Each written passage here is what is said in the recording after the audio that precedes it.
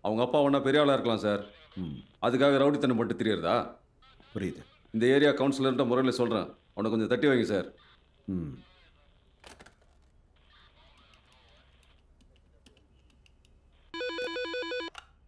North police station? ASP பேசுகிறேன் ஆ வணக்கம் sir. சாரத் எப்படி? ரொம்ப நல்ல பையன் சார். ம். இன்னும் கொஞ்சம் ரஃப்பான பையன். அப்படியா? ஆனால் மக்களுக்கு உதவி செய்யறதுல முன்னாடி வந்து நிற்பா சார். சரி. ம் பார்த்தீங்களா sir?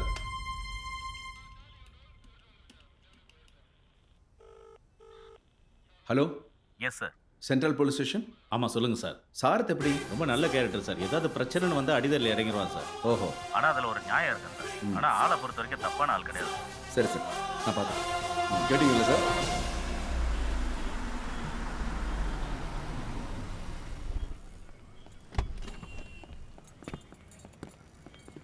என்னப்பா மலையா என்ன கேஸு? சும்மா ஒரு அடிதடி கேஸ்ண்ணே. பிடிச்சிட்டானுங்க. லைட்டா கிராச் ஆயிடுச்சுண்ணே. அதுக்குள்ள போட்டாங்கண்ணே. ஒழுங்கா இருக்க வேண்டியதான்டா? அதெல்லாம் ஒன்றும் இல்லைண்ணே. நான் பாத்துக்கிறேண்ணே இந்த பிடிங்க. பசங்களுக்கு பிரியாணி வாங்கி கொடுங்க. சரிங்க. அண்ணே அவன்கிட்ட கொடுக்காதீங்கண்ணே. கொடுக்க மாட்டாண்ணே. அதெல்லாம் கொடுப்போம். வாடா. வரண்ணா. எத்தனையோ சிட்டியை கண்ட்ரோல் பண்ணியிருக்கேன். இந்த மாதிரி ஆளுங்களெல்லாம் எவ்வளோ பார்த்துருக்கேன். அதெல்லாம் நான் பார்த்துக்கிறேன். சார். சாரத் வந்தாச்சா வெளியில் வெயிட் பண்ணுறாரு சார். உள்ள அனுப்பு. Okay sir. சரிங்க சார். நான் வரேன் சார்.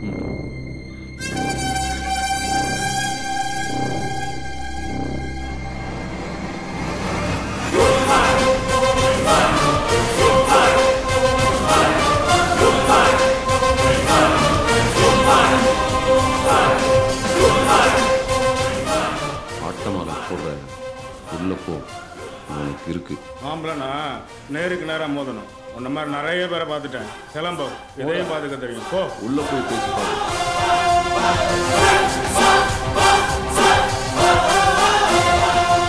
என்ன சாரத் சார். உன் மேலே நிறைய கம்ப்ளைண்ட்ஸ் வருது. நிறைய ரவுடிசம் பண்ணுறியாமே அப்படிலாம் இல்லை சார். சரி வா உட்கார். தேங்க்யூ சார் உன்னை பற்றி விசாரிச்சேன். எல்லாரும் நல்ல விதமாக தான் சொல்கிறாங்க இருந்தாலும் எல்லா நாளும் ஒரே மாதிரி இருக்காது. சரிங்க சார் அதனால பார்த்து இருந்துக்க உன் நம்பர் கொடுத்துருப்போம் ஓகே சார். எல்லாருக்கும் ஹெல்ப் பண்ணுறியாமே அப்படிலாம் இல்லை சார். நம்மளால் முடிஞ்ச மக்களுக்காக செய்யணும்ல. எந்த ஹெல்ப் தேவைப்பட்டாலும் என்னை வந்து பாரு. கண்டிப்பாக சார். போயிட்டு தேங்க்யூ டேய்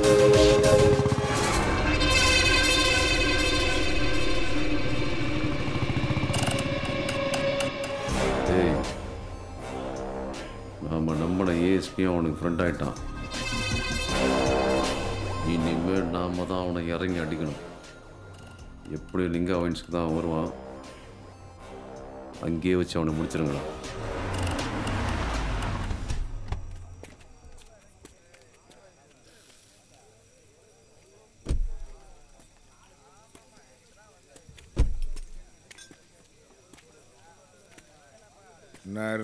இனிமேல் குடிக்க கூடாதுன்னு நினச்சிட்டு இருந்தேன். ஏன்டா? சரி உனக்காக குடிக்கலாமேன்னு முடிவு பண்ணிட்டேன். சரி. ஆ.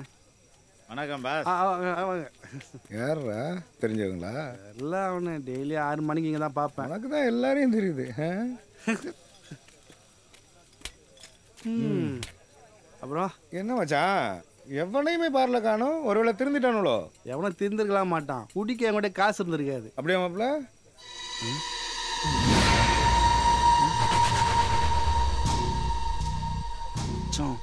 என்னல?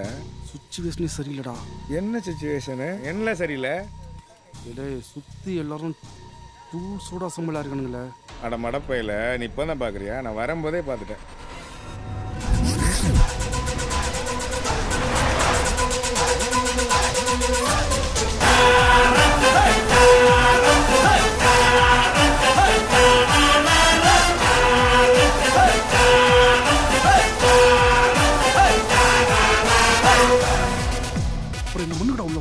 வா வெளில போயிடும் வெயிட் பண்ணு மாப்பிள்ள உன்னோட பயம்தான் அவங்க பலம். ஓசி குடி தான் ஏன் பலவீனம் டேய் சண்முகம். என்னென்ன நடக்க போதும் ஃபர்ஸ்ட் ரெண்டு பியர் கொடு. ஃபைட்டுக்கு லீடு ஒரு ஆஃப் கொடு. ஃபைட்டு கண்டிப்பாக ரெண்டு சில்லி சிக்கன் கொடு. சரிண்ணே. விட்டு ஒன்று அடிப்பானே. ஏல பேந்த பேந்த முழிக்கிற வேடிக்கையை மட்டும் பாரு. பார்க்குறேன். வைல மாப்பிள்ள ஆ பீரும் ஹாட்டும் சேர்த்தடிச்சா எப்படி இருக்கும் தெரியுமில? அதுக்கு ஆசைப்பட்டு தானடா மாட்டிக்கிட்டேன். நல்லா இருக்குமா இருக்காதா? ஆ. சரி இப்போ நீ என்ன பண்ற? ஃபோனை கூட ஒரு ஃபோன் பண்ணு. டேய் ஃபோன் உங்ககிட்ட தான் இருக்கு. ஏன்டா இப்படி பண்ற? என்கிட்ட தான் இருக்கா சரி மாப்பிள்ள விடு மாப்பிள்ள விடு மாப்பிள்ள கூல ஹலோ. மாப்பிள்ள வசந்த் எங்க இருக்க?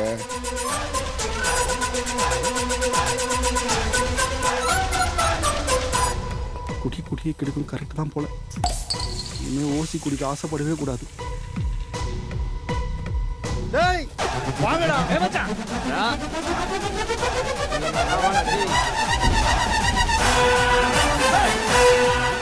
நம்ம அவனுக்கு ஸ்கெட்ச் போட்டா அவன் நமக்கே ஸ்கெட்ச் போட்டுட்டான். படப்பா இங்கே விடுங்களேன் பெரிய பெரிய டான்லாம் போறாங்க ஏ மச்சான். பொருளை எப்படி போடணும் தெரியுமா? அந்த பொருளை இல்லை. எறா பொருளை? பொருளை எப்படி போடணும்னா இப்படி போடணும். எப்படி? எப்படி எடுக்கணும்? இப்படி எடுக்கணும். கவுன்சிலர்கிட்ட சொல்லு. புல்லட் வெடி பீரங்கி வெடி எல்லாத்தையும் பார்த்துட்டு தான் வந்திருக்கேன். சும்மா வந்துட்டு பொட்டி வெடி வெடிச்சிட்டு கேக்குதா? கேக்குதாண்ணா? எப்படா கேட்கும் போ ஓடு. பார்க்கவே கூடாது ஓடு. போ, ஓடு. ஹலோ என்னப்பா? தம்பி கவுன்சிலர் பொட்டு வெடி ஒன்று கூட வெடிக்கல போர் அடிக்கி. நல்ல ஆம்பளை அனுப்பிச்சு விடு முடிஞ்சா மோதி பாரு. இல்லைன்னா ஓரமா உட்காந்து வேடிக்கை பாரு.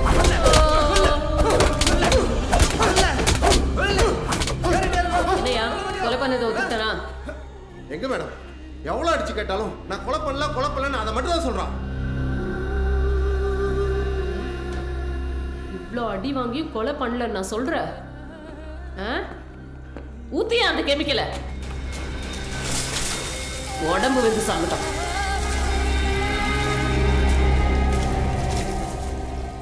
குடிக்கிறதுக்கு தண்ணி இல்ல போர் போடுறதுக்கு பணம் இல்ல அது சம்பந்தமா ஒரு மீட்டிங் அணைச்சு பேசிட்டு இருக்கேன் மச்சான். நம்ம ஏரியால இந்த கிணத்துல மட்டும்தான் சுத்தமா குடிக்கிற தண்ணி இருந்துச்சு. டூர் வராதால கிணறு ரொம்ப பாழடைஞ்சு போச்சு. நம்ம ஏரியா பொம்பளைங்கெல்லாம் ரொம்ப தூரம் போய் தண்ணி அடிக்க வேண்டிய நிலைமையில இருக்காங்க இப்போ.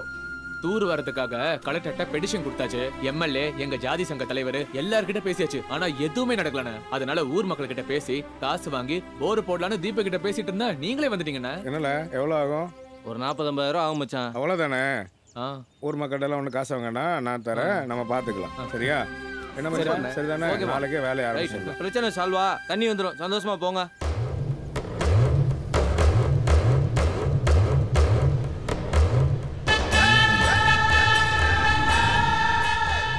ஏய் வந்தா சொல்லுங்கண்ணே.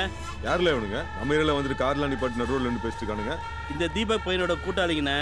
மக்களுக்கு சேவை செய்யறேன்னு சொல்லிட்டு வெட்டியா சுத்துற பசங்கண்ணே.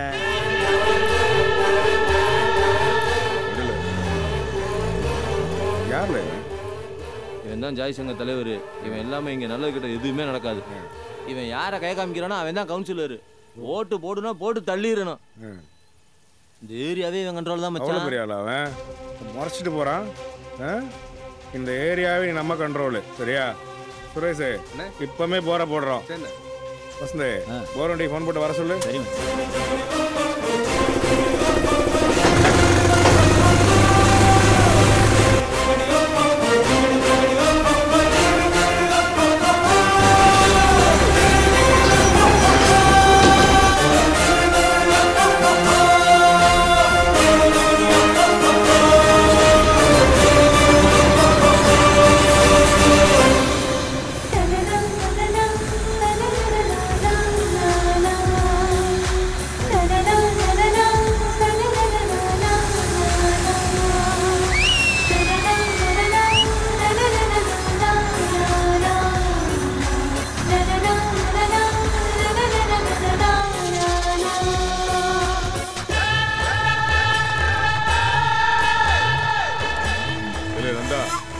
யாருல இவனுங்க.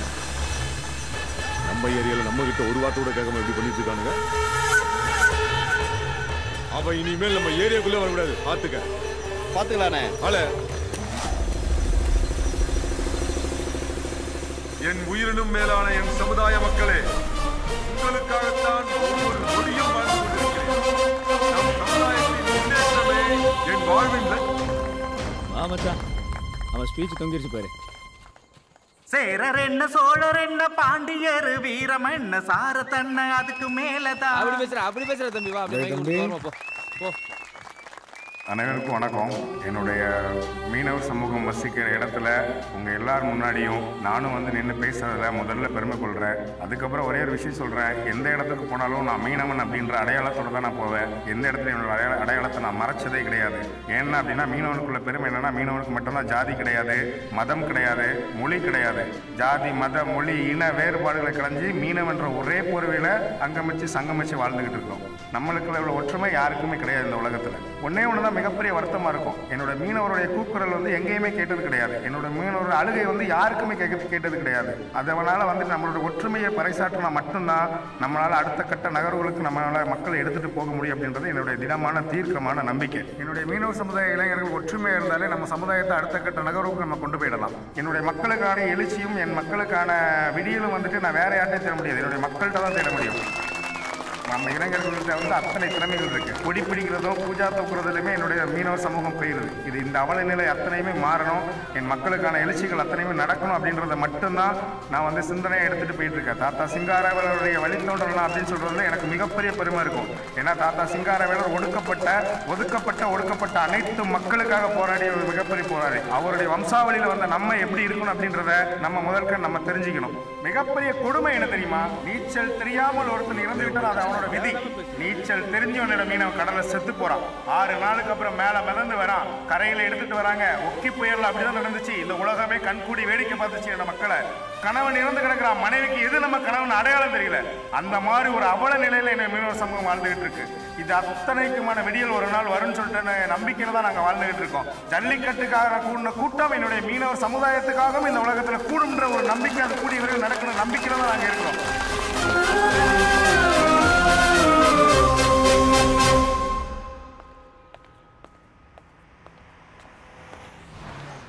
என்னடா அமர்கலாம் அஜித் மாதிரி வரப்பா தெரிஞ்சா இப்ப ஆசை அஜித் மாதிரி ஏதோ ட்ரைவ் பண்றிய. அட போல லவ்ல விழுந்துட்டியோ? யாரு? ஏய் நானா? நம்ம ஆளாவது லவ் ஆகுது. சான்ஸே இல்லை. என்ன மாப்ள? நீ தான் மச்சான். கரெக்டாக என்ன புரிஞ்சுக்கிட்ட. அப்புறம்? லவ்வுக்கு எல்லாம் ஒன்றும் இல்லை. அவன் வீரமா நிற்பான் நல்லா புரிஞ்சோனே அங்க பாரு. இதான் மிஸ் ஆன மிஸ் நினைக்கிறேன். பாருங்களேன் என்னங்க ஆச்சு? வண்டி ரிப்பேர் ஆயிடுச்சுங்க. டேய் பாத்தியாடா வச்சிட்டாங்க டேய் அப்படியெல்லாம் இருக்காதுடா. தாய் குலத்துக்கு ஹெல்ப் பண்ண போயிருப்பான் ஆக என்ன இல்லடா அவன்? இவன் இருக்க டீயை பிடிங்கிட்டு பாலை வாங்கி குடுறா. ஒன்றும் பிரச்சனை இல்லை. பக்கத்தில் ஒர்க் ஷாப் இருக்கு. நான் ரெடி பண்ணிட்டு நான் சொல்கிறேன் நீங்கள் ஆட்டோவில் போங்க. பேச்சு முத்தனே வாங்க. வாரம் சாரத்து. முன்னாடி போங்க ஏறுங்க. அழகாக தான் இருக்கா தங்கச்சி? அண்ணா பத்திரமா கொண்டு வீட்டில் விட்டுருங்க. ஆ சரிப்பா.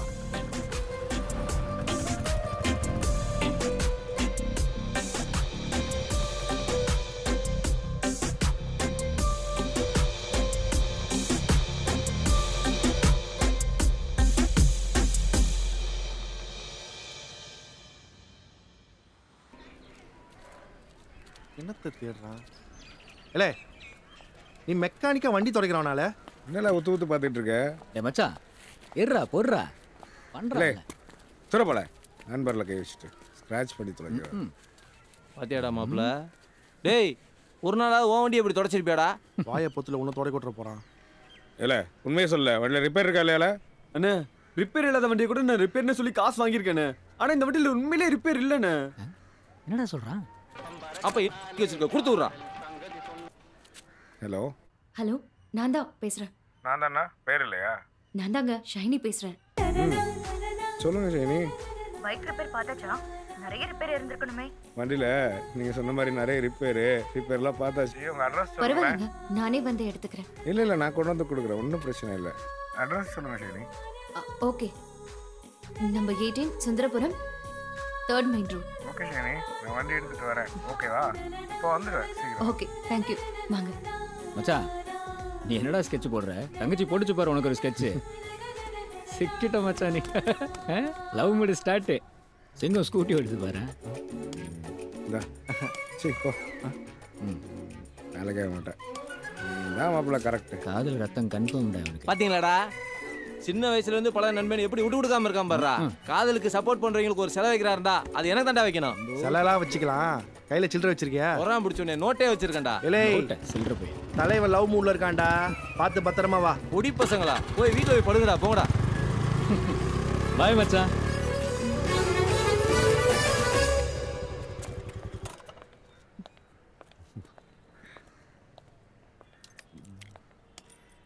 இந்தாங்க கீ. ரொம்ப தேங்க்ஸ் உள்ள வாங்க. டீ சாப்பிட்டுட்டு போலாம். இல்லை கொஞ்சம் வேலை இருக்கு. என்ன? அடிதடிக்க போறீங்களா? ஓ இன்னும் ரவுடியாக தான் நினச்சிருக்கீங்களா? இல்லைன்னா உன்னை புத்தர் நினைச்சிட்டு இருப்பாங்க. இல்ல இல்ல. உங்களை நான் நல்லாவே புரிஞ்சுக்கிட்டேன். புரிஞ்சுக்கிட்டாளா? எப்படி? அது அப்படிதான். அப்படின்னா?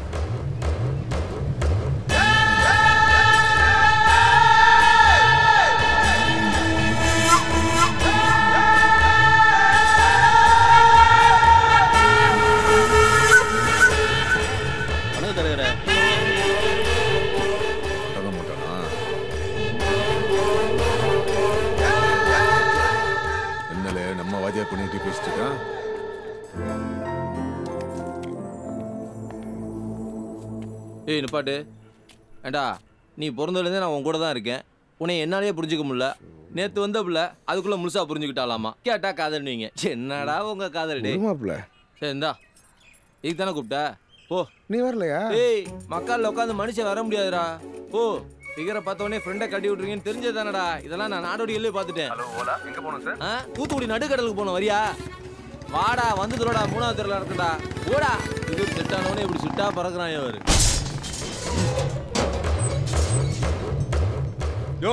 சரவண பாண்டியன் வெளியே வாருமையா வாங்க வாங்க. என்ன விஷயம்? என்னையா வாங்க வாங்கன்னு. புள்ளைய வளர்க்குற லட்சணமா அது. வயசு பொண்ணுனா வீட்டுல அடக்க உடக்கமா இருக்க வேணா ஏன் என்னாச்சு? ரோட்ல சாதி பேர் தெரியாத பையன்கிட்ட நின்னு பல்ல இழிச்சு இழிச்சு பேசிட்டு இருக்க அவன் பொண்ணு. இதெல்லாம் நாங்க வேடிக்கை பார்த்துக்கணுமா? நம்ம ஜாதி மரியாதை என்ன ஆகுறது நீங்க நினைக்கிற மாதிரி என் பொண்ணு அப்படிப்பட்ட பொண்ணு இல்ல. நானும் அவளை அப்படி வளர்க்கல. என் பொண்ணுகிட்ட என்ன ஏதுன்னு விசாரிச்சு சொல்றேன். இன்னொரு முறை இந்த மாதிரி நடந்துச்சு. நடக்கிறதே வேற. பாத்துக்க. வாங்கல. ஏங்க என்னாச்சு? நொண்டங்காச்சு பிள்ளை வளர்த்துருக்கலாம் பிள்ளை ஓடி உள்ள ஓடி சைனே. என்னப்பா? அங்க என்ன பண்ணிட்டு இருக்க? இப்ப எதுக்குங்க கத்திட்டு இருக்கீங்க? ஓ. என்னாச்சுப்பா? என்ன வேலை பார்த்துட்டு வந்திருக்க நீ? ஸ்கூலுக்கு போனோமா வந்தமான்னு இல்லாம கண்ட பசங்களை எல்லாம் வீட்டுக்கு கூட்டியாரேன்னு சாதி தலைவர் வந்து காரி திப்பிட்டு போறாரு. எல்லாருக்கும் ஒழுக்கத்தை கத்து கொடுக்குற வாத்தியார் பொண்ணு ஒழுக்கம் தவறிட்டான்னு ஊரு சொல்லணுமா? இதுக்கு மேலேயே அந்த பையன் வந்து போனான்னு வச்சுக்கோ. நீ வேலைக்கு போறதே நிறுத்திடுவேன். புரிஞ்சுதா? நீங்க? அவளை எங்க